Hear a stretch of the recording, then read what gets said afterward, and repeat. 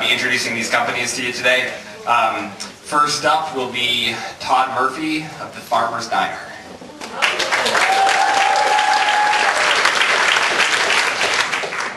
Uh, I'd like to start where most of us have probably started when we've come to think of healthy communities. We'll start with Wendell Berry. Good solutions exist only in proof. Problems must be solved in work and in place by people who will suffer the consequences of their mistakes. This is my favorite definition for skin in the game.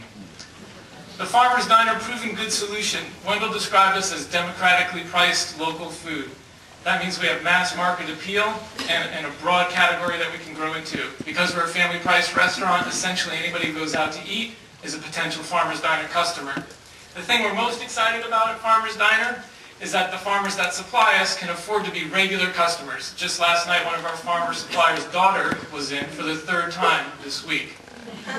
We had over a million dollars in restaurant sales last year. What that means is that we created over a quarter of a million dollar market for farmers and small-scale producers, that we secured 600 acres in healthy, sustainable farming, and that we kept at least 15 tons of CO2 out of the air because of our local supply chain.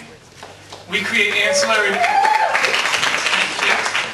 Uh, we create ancillary markets um, for, for our farmers because we provide a secure economic base for them to sell products into. That gives them the opportunity to then go out and find other channels to move those products through knowing they're going to get a paycheck from us. Also, because we're aggregating 40 to 80 vendors and preparing food for the restaurants, it gives us the opportunity to pursue other markets, uh, such as wholesale markets. Farmers Diner proofs, since good, good solutions exist only in proof, here's what we've proved. Uh, despite the excitement of the last two years in the economy, we've proved profitability. Our Quechee store is doing better than 13% uh, profits at the store level. We're a proven multi-unit operator. Uh, with the opening of our Middlebury store last year, we've proven that we can duplicate the system uh, and manage multiple locations. We have proven market appeal to investors. We have investor groups in New York City and the Bay Area that are working with us currently to bring farmers diners into their community. We've proven that we can create farms. With the opening of the Middlebury Farmers Diner, we helped a couple get started in pastured egg uh, business, and they sold to us, and now they're distributing throughout the state. And we have a proven ability to raise capital over a million and a half dollars over the last decade. Farmers Diner is set up as a holding company. We manage the intellectual property and the brand. The intellectual property is how to build and manage a diverse supply chain, as well as create menus and recipes that allow the restaurant to be affordable for our customers while being profitable for the farmers, our employees, and our investors, all the while taking care of the health of the earth. That's that triple bottom line, people, profits, and planets. And then we have an automatic update.